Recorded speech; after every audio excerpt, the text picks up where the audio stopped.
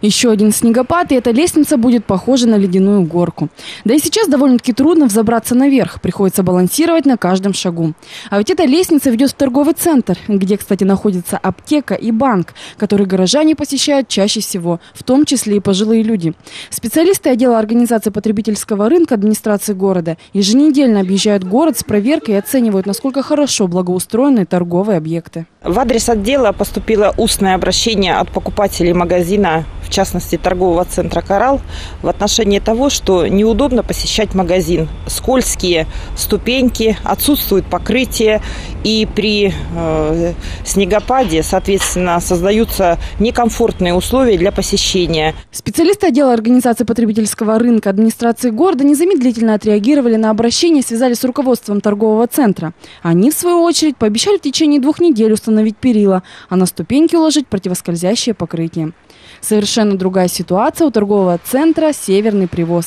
Для безопасности клиентов здесь установлены перила, очищена территория от снега, правда на нижних ступеньках небольшая наледь. Многие предприниматели следят за своими объектами, участвуют в благоустройстве.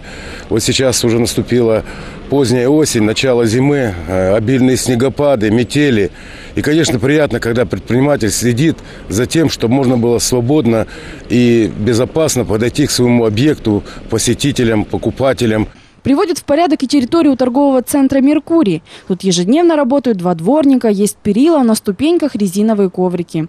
Но и тут для горожан небезопасно. Сверху угроза схода снега с крыши сосульки. Мы же все знаем, что снег выпал, и потом потепление было, все, и вот немножко сосульки было. Конечно, мы убираем, снимают. Сейчас они снег очистят, когда после очистки снега, там, чтобы удобно было поставить лестницу, все скинут. Прилегающую к Меркурию территорию убирает этот трактор – а вот с автостоянки расчищает снег техника побольше.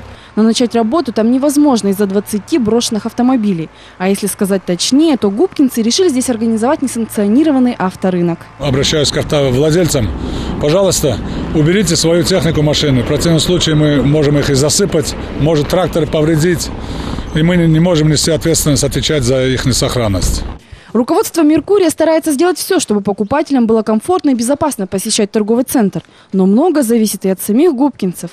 Поэтому, если вы испытываете трудности при посещении каких-либо магазинов, то с заявлением вы можете обратиться в отдел организации потребительского рынка администрации города, либо позвонить по телефону 3 98 11.